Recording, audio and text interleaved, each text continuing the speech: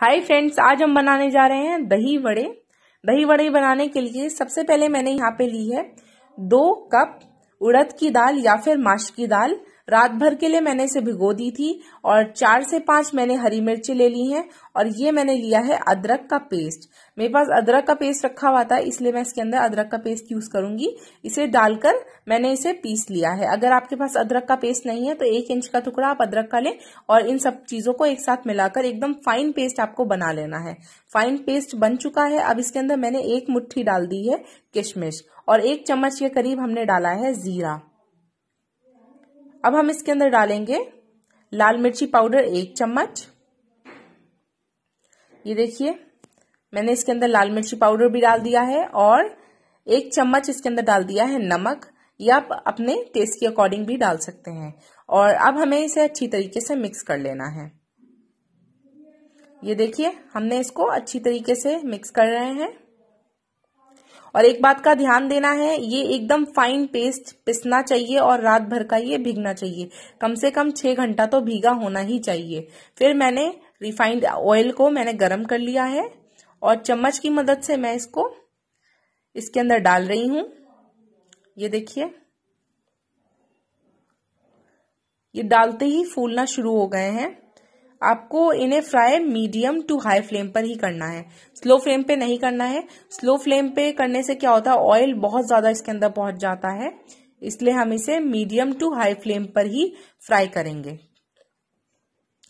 ये देखिए एक एक करके मैं इसको इसके अंदर डाल दूँगी और आपको अच्छी तरीके से इसको ब्राउन होने तक फ्राई कर लेना है। ये देखिए अलट पलट के आपको इसको फ्राई कर लेना है। बड़ी ही आसान सी रेसिपी है। और बहुत ही ज़्यादा अच्छे बनते हैं ये। ये देखिए। अब ये ब्राउन हो चुके हैं और हम इसको प्लेट में निकाल लेंगे।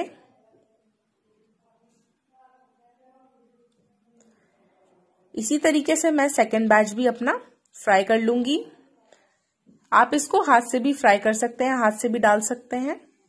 पर उसमें क्या होता है, आपको बार बार हाथ अपना पानी में डालकर साफ़ करके फिर से उसको पकड़ना होगा, क्योंकि हाथ से बहुत ही ज़्यादा चिपकती है।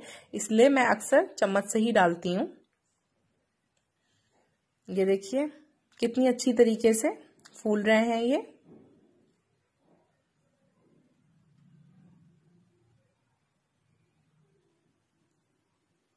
और ये देखिए, कितने अच्छे ये बनके तैयार हो चुके हैं।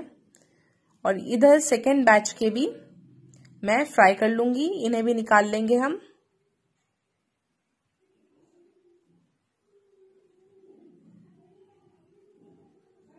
ये देखिए। इसी तरीके से हम सारे अपने दही वड़े फ्राई कर लेंगे। मैंने यहाँ पे नॉर्मल पानी ले लिया है और ये जो वड़े हमने बनाए थे, इन्हें बिल्कुल रूम टेम्परेचर पे बहुत ही अच्छे ठंडे हो चुके हैं। फिर मैं इसको इस पानी में डाल देंगे। आपको एक बात का ध्यान डालना है गरम गरम बड़े पानी में नहीं डालने हैं। उससे क्या होगा, बाहर से तो उसके अंदर पानी आ जाएगा, पर अंदर वो बहुत ही ज़्यादा हार्ड हो जाते हैं। इसलिए रूम पे रूम टेम्परेचर पे लाना बहुत ज़्यादा ज़रूरी होता है। ये है दही। ये मैंने होममेड दही है ये, घर पे ही बनाई थी मैंने। और मैं इसको मिक्सर के अंदर डाल दूँगी।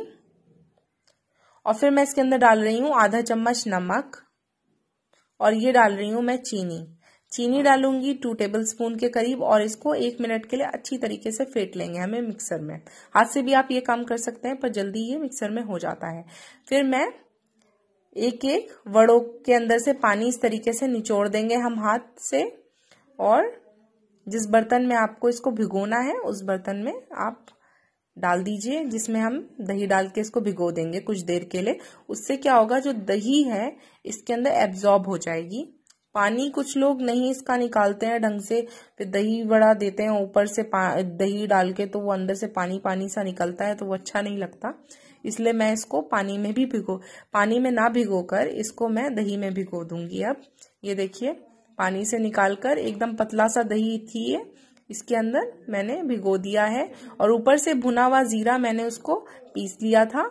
वो ऊपर से मैं डाल दूँगी। ये डाला मैंने लाल मिर्ची पाउडर। और अब हम एक एक करके दही वड़े निकाल लेंगे कटोरियों में सर्व करने के लिए। बड़ी आसान सी रेसिपी है। आप लोग भी इसे ज़रूर ट्राई करें। बहुत ही अच्छे इसके रिज़ल्ट आते हैं। एकदम सॉफ्ट बनता है ये। ये देखिए। हमने निकाल लिए हैं, दही इसके ऊपर डाल रहे हैं और फिर इसके ऊपर डाल देंगे इमली की चटनी।